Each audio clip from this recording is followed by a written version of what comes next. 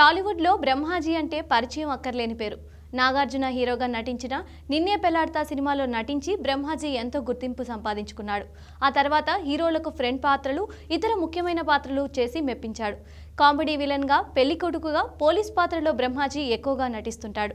అతడి సినిమాలో బ్రహ్మాజీ సీరియస్ పాత్రలో చేసే కామెడీ ప్రేక్షకులకు గిలిగింతలు పెట్టింది.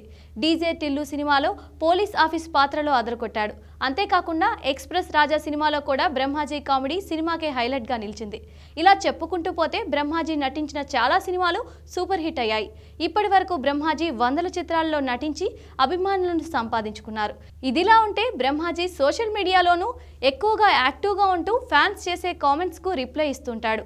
ఇక సినిమాల్లో బ్రహ్మాజీ క్యారెక్టర్లు ఎంత ఫన్నీగా ఉంటాయో సోషల్ మీడియాలో కూడా అంతే ఫన్నీగా ఉంటాడు. తనతో క్లోజ్గా ఉండే సెలబ్రిటీలకు ఫన్నీగా కామెంట్స్ పెడుతూ ఉంటాడు.